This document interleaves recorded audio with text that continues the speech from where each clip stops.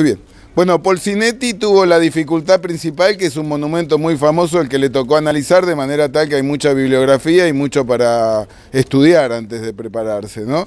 La segunda cuestión importante que nos hizo circular alrededor del monumento y quienes nos acompañaron pudieron ver, el público pudo interactuar. Es muy bueno hacer mover a la gente, porque si no te miran como un orante sumerio y se duerme la gente. Entonces hacerla circular es muy bueno, en cualquier exposición o actividad que hagas en público, ¿no?